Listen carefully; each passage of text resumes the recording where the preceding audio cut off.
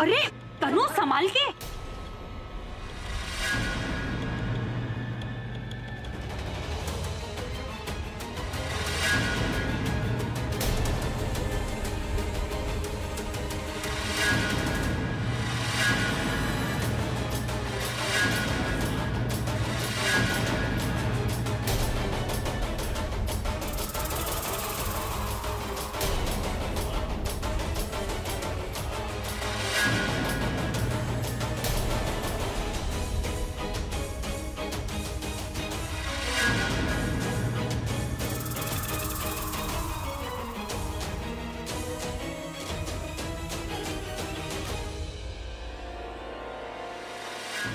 मैं क्या करूँ आलिया?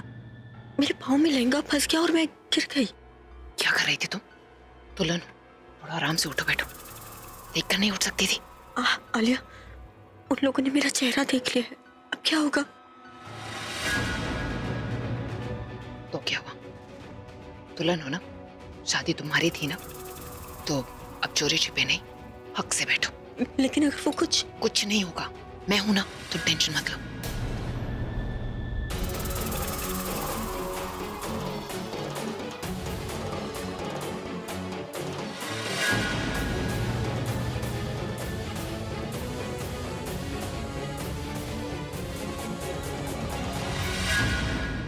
अरे ये क्या हो गया?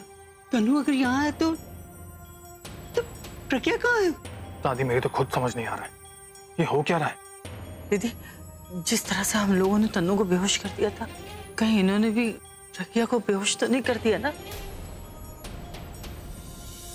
चल चल चल चल। प्रज्ञा! प्रज्ञा!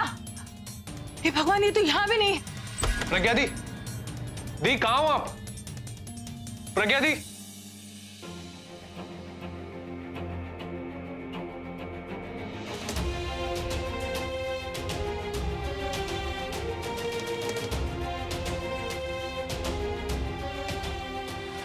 दीदी हाँ मिली। नहीं दीदी मैंने उसे गेस्ट रूम में भी देख लिया वो कहीं भी नज़र नहीं आ रही है। आ, आलिया के कमरे में क्या? आलिया के रूम में भी नहीं है। मैंने बाथरूम तक में चेक किया वहाँ भी नहीं है। हाय रबा गेस्ट रूम में नहीं आलिया के रूम में भी नहीं। सब जगह देख लिया। कितने गई होगी? और अगर वो लोग उन्हें बाहर लेकर जाते तो कोई ना कोई तो ज़रूर देख लेता। हाँ दीदी आपने उसे अपने कमरे में देखा? कहीं वो वहीं तो नहीं बैठी? एलो होते तो देखा ही नहीं। वो तो भूल गए। अरे चलो वहीं देखते हैं। प्रज्ञा दी? दी? पुत्र प्रज्ञा प्रज्ञा नहीं है।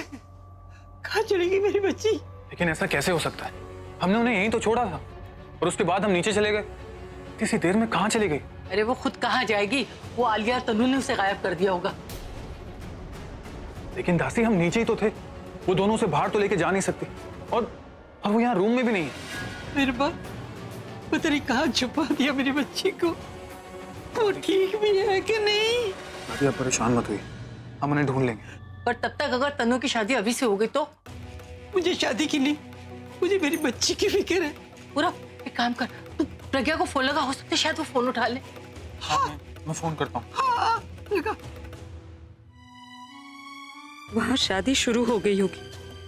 और दादी और पूरब को तो पता भी नहीं कि वहाँ दुल्हन के जोड़े में मैं नहीं तनु है। पता होता तो शायद कोई कुछ करता। मुझे ढूंढता या शादी रोकने की कोशिश करता। पर वो शायद वही मंडप के पास खुश हो रहे होंगे। ये सोचकर कि सामने मैं बैठी हूँ।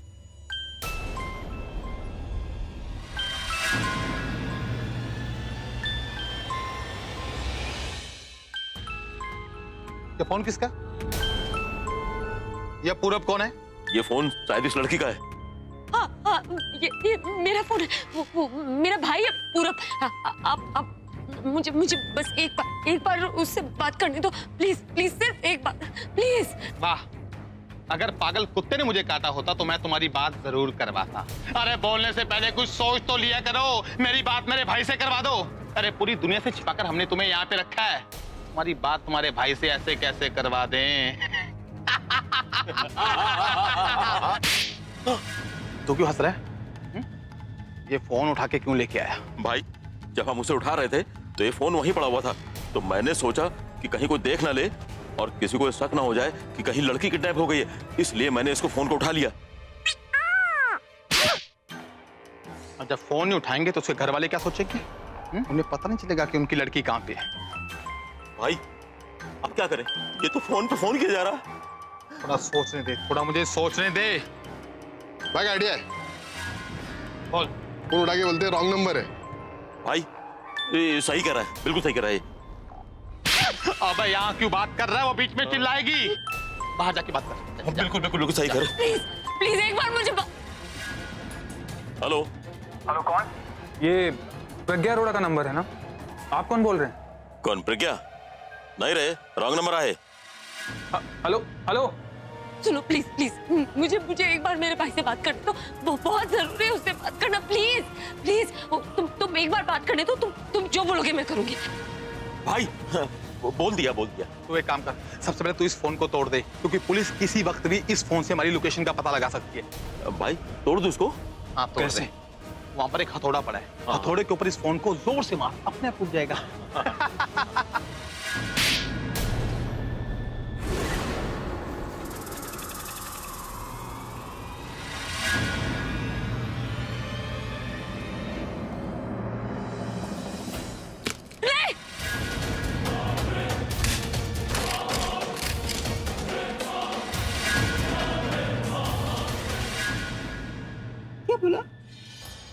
आदमी ने फ़ोन उठाया और कहता है कि रॉन्ग नंबर है।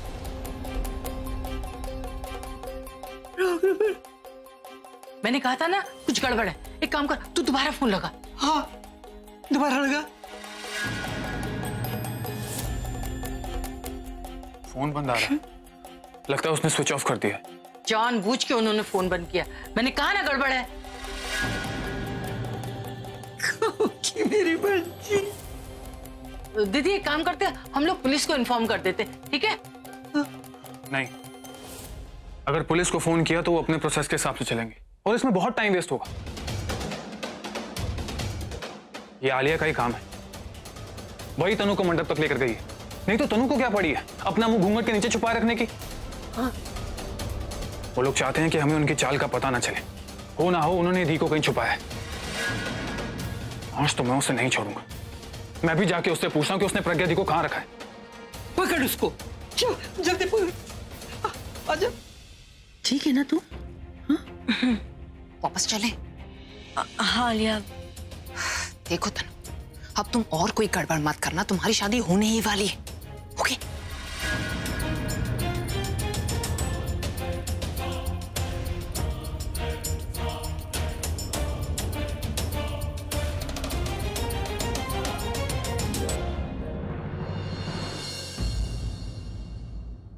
पहले वधू वर को वरमाला पहना है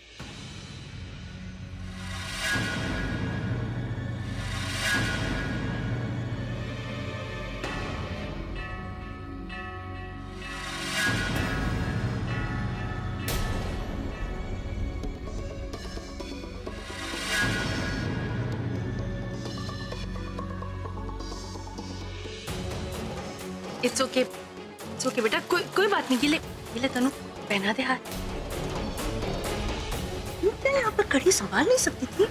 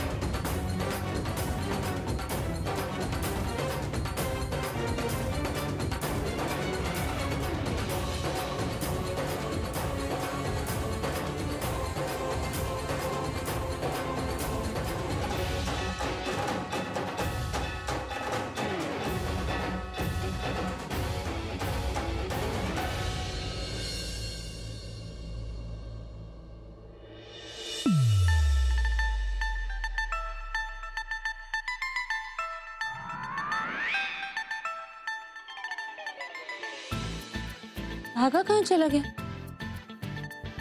दूसरा धागा ले लेती।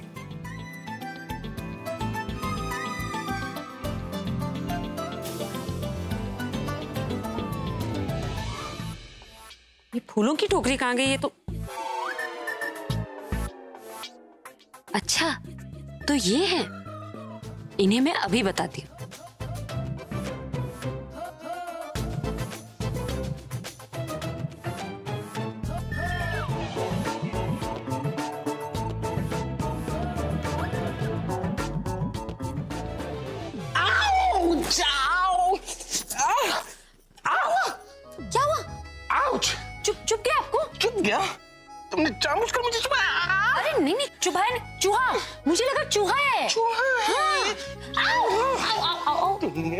चुहा कहा नहीं नहीं नहीं सॉ- सॉरी सॉरी चूहा नहीं शेर शेर है आप आप तो हाथ छोड़िए प्लीज़ अब है ना सही रास्ते पर। मेरा तो हर रास्ता आपकी तरफ़ जाता। क्या कहा तुमने? कुछ नहीं कुछ नहीं। ये जो तुम मन ही मन बोलते रहती हो ना मुझे सब समझ में आता है। आप समझ पाते तो मुझे मन में बोलने की ज़रूरत ही नहीं पड़ती।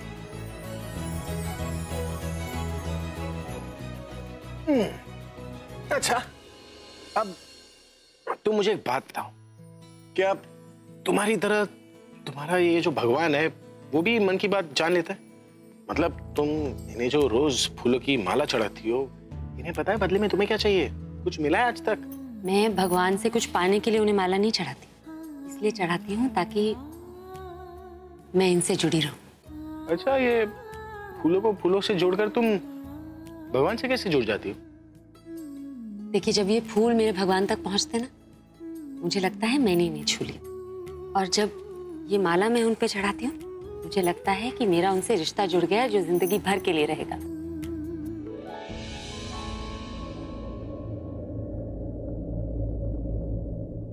ये तो मुझे पता ही नहीं था। फिर तो आपको ये भी नहीं पता होगा कि शादी के वक्त लड़का लड़की एक दूसरे को वरमाला क्यों पहनाते पता है पता है।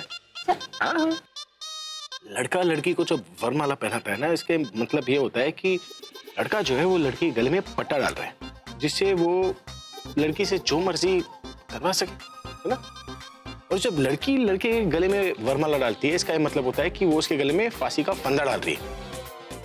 ताकि जब भी लड़के को सांस लेनी भी हो तो लड़की की रजामंदी से ले। इतना गलत सोचते हैं अरे मज़ाक कर रहा हूँ मैं। तुम बताओ ना असली मतलब क्या है? मैं तो ऐसे ही फेंक रहा ये वरमाला ना बहुत इंपॉर्टेंट होती। है जब एक दुल्हन दूल्हे को पहनाती है उसका मतलब ये होता है कि वो उससे वादा कर रही है। ज़िंदगी भर उसका साथ निभाएगी। और जब दूल्हा दुल्हन को पहनाता है उसका मतलब ये होता है कि वो वादा कर रहा है कि ज़िंदगी भर उसके साथ रहेगा और उसकी तरफ़ अपनी हर ज़िम्मेदारी निभाएगा। तुम फूलों का वरमाला क्यों सोने चांदी का क्यों क्योंकि फूलों में जो खुशबू होती है जो रंग होते हैं जो खूबसूरती होती है वही खूबसूरती उनकी ज़िंदगी में आ जाती है। आ, जब आप फूलों को देखते हैं आपके मन में एक, एक प्यारी सी फीलिंग आती है ना वही प्यारी सी फीलिंग उनकी शादीशुदा ज़िंदगी में आ जाए। हम्म पर ये फीलिंग जो है ना वो ज़्यादा दिनों तक नहीं रहेगी।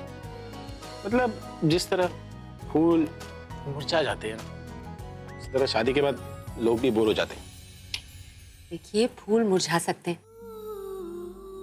ये खुशबू भी जा सकती है लेकिन ये धागा ये धागा जो उनको जोड़े रखता है ना, वो नहीं टूटता। वैसे ही प्यार और विश्वास पति और पत्नी के रिश्ते को जोड़े रखता है।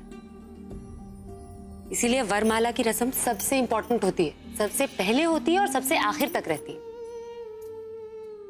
मुझे नहीं पता था ये वरमाला जो है इतना इंपॉर्टेंट है। तो मुझे एक बात बताओ, ये वरमाला जो है वो सिर्फ़ शादी के क्यों पहनाते हैं? अगर समझो लड़का लड़की एक दूसरे को पसंद करते हैं तो वरमाला तो रोज ही पहनाना चाहिए ना? हाँ पहना सकते पहना सकते हैं? हाँ तो फिर खड़ी हो जाओ। हाँ? खड़ी हो जाओ। हम्म। इसे पकड़ो। मैं? अरे पकड़ो ना सवाल मत करो। पकड़ो। हम्म। हम्म, अब पहनो।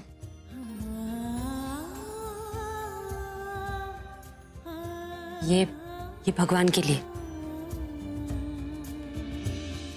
कमाल कर रही हो। हर रोज तुम भगवान को फूलों का माला पहनाती हो। एक दिन नहीं पहनोगी तो नाराज़ थोड़ी ना हो जाएँगे। पहनो।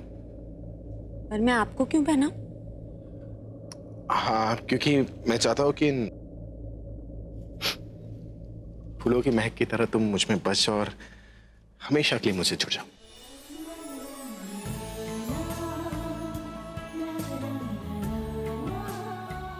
क्या हो? कुछ बोलोगी नहीं? तो क्या मैं तुम्हारी इस खामोशी को हाँ समझू?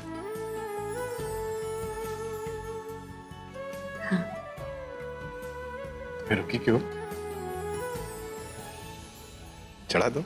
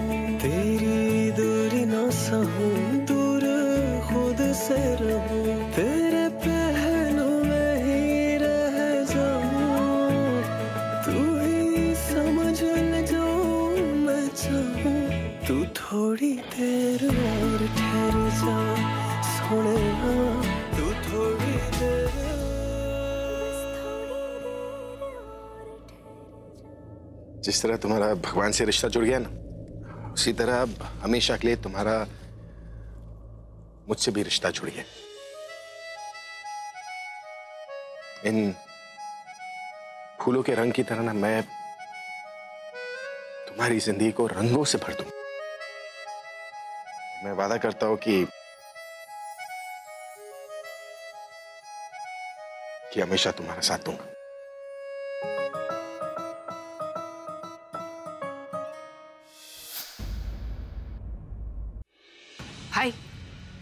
किस सोच में पड़ गए? अरे वरमाला पहनाइए ना तनु को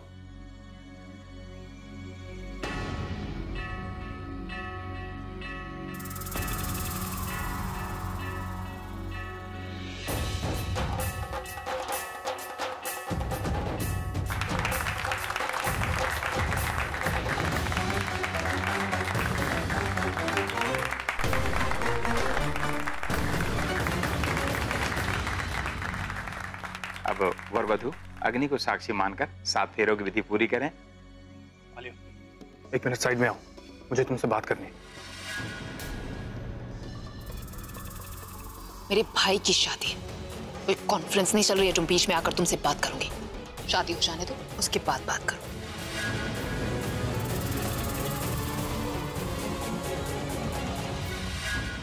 आर्या क्या कह रहा था पूरा? क्या कहना है आंटी जी? बेचारे का पूरा प्लान फेल हो गया। तो सोच रहा था राधा पूछ रहा था कि क्या करे क्या ना करे।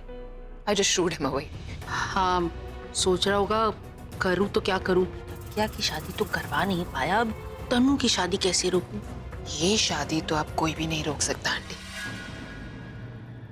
सामने देखिए शादी बस होने ही वाली। जब सात फेरे पूरे हो जाएँगे तो शादी भी खत्म और इन लोगों की ज़िंदगी भर की खुशियाँ भी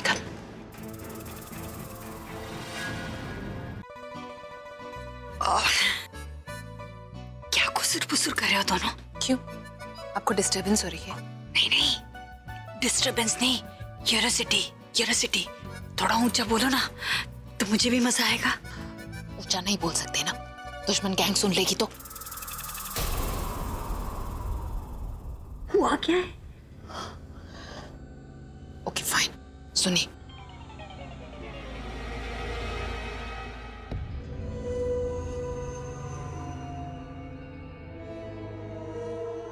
क्या क्या कह रही हो क्या कह रही हो ये तुम सच्ची ये तो बहुत ही मज़ेदार बात है पेट में रुकेगी नहीं ना किसी को जाकर बता दो आपका दिमाग तो खराब नहीं हो गया शादी हो जाने तो उसके बाद बताना। इतना देर? तब तक तो मेरे पेट में दर्द होने लगेगा आलिया। मुझे किसी को तो बताने दो ना। बोला ना मैंने। चुप रहो। ठीक है गुस्सा मत करो। मैं बताऊँगी। लेकिन तुम तो ये बता दो कि तुमने ये सब कुछ किया कैसे? बड़ा दिमाग लगाकर प्लान बना रहे थे ना। पर बेचारों को हमेशा याद नहीं रहता कि उनके सामने आलिया मेहरा खड़ी है। ऑब्वियसली मेरे रहते हुए उनका प्लान कभी कामयाब हो सकता है क्या? जो भी हुआ अच्छा ही हुआ। प्रज्ञा ना, मुझे भी पसंद नहीं है। वो आती तो फिर से हमें गुलाम बना देती, घर के कामकाज करवाती। पहले बहुत थक चुकी थी उसके काम कर, करके। ये तो वही बात हो गई, आंटी जी। हालिया, कि जिद भी मेरी पढ़ भी मेरी, और सिक्का भी मेरा ही।